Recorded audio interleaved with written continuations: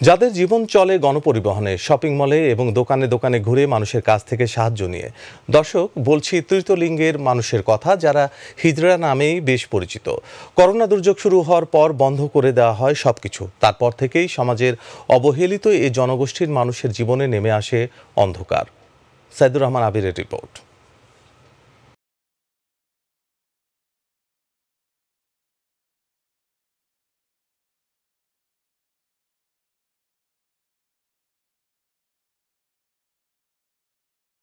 সম্প্রদায়ের এই মানুষগুলোর বেপরোয়া এসব কার্যক্রম দেখে অনেকেই অভ্যস্ত এবং সকলেই বিব্রত এবং বিরক্ত।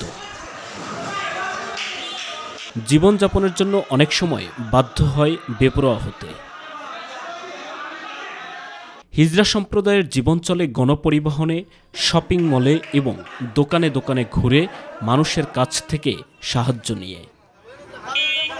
প্রথম অনুরোধের পর সাহায্য না পেলে জীবনের তাগিদে হয়ে ওঠে বেপরুয়া। করোনা ভাইরাসের এই দুর্যোগ শুরু হওয়ার পর থেকে কীভাবে চলছে হিজরাদের জীবন?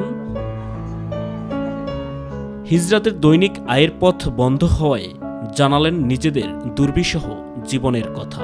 আমরা যার কাছে যাই, কমিশনার কাছে যাই, ওইদের কাছে যাই, মুখের কাছে যাই আমাকে কেউ সাহায্য দেয় না। ডাইলানি চাইলানি মহিলা করতে নেই আইন আমাকে পেট চালাই জীবন চালায়। আমরা কি করব? আমরা অস্বভাব হয়ে গেছি এখন। এলাকার ভিতরে কেউই কিছু পাই নাই।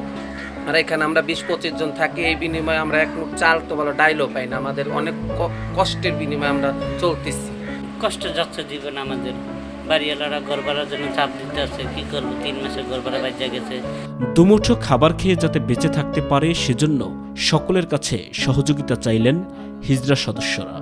সরকারের একটা দাবি আমাদের এটাই আমরা কালেকশন করতে পারতেছি না খাইতে পারতেছি না পড়তে পারতেছি না আমাদের যদি সরকার থেকে কিছু সাহায্য দেয় আমরা ঘর ভাড়া দিয়ে থাকতে পারি খাইতে পড়তে পারি এটাই আমাদের দাবি আর কি দাবি?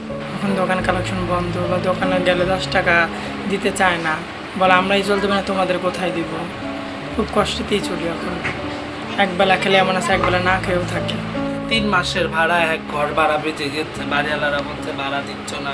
তোমাদের এভাবে কি করে রাখব? আমাদেরও তো শুনতে আমরা কোথা থেকে কিছু পাই না।